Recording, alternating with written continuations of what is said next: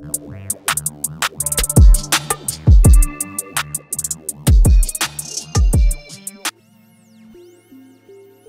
up YouTube, it's hip hop channel WHY TV and I'm back with another episode. Today we have topic about the best hip hop couple Offset and Cardi B. Today Cardi B and Offset arrived in Paris for Fashion Week 2023.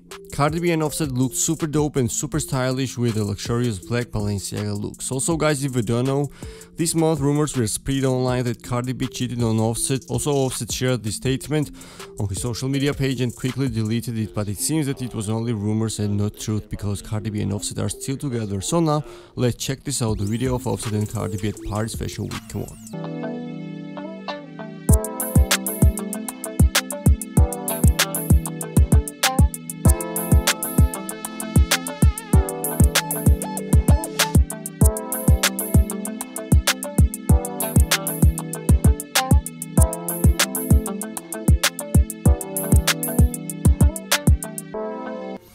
Man, they're looking so elegant. Offset and Cardi B are the most beautiful couple in rap game, period. So guys, today we have also another topic and our next topic is about Nelly.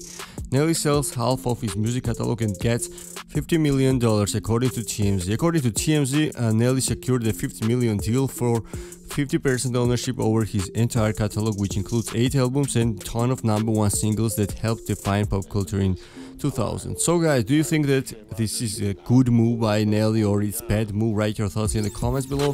Stay tuned, subscribe WHY TV, get the notification bells and don't forget to visit the website hipoptui.com. Thank you so much for watching. Peace.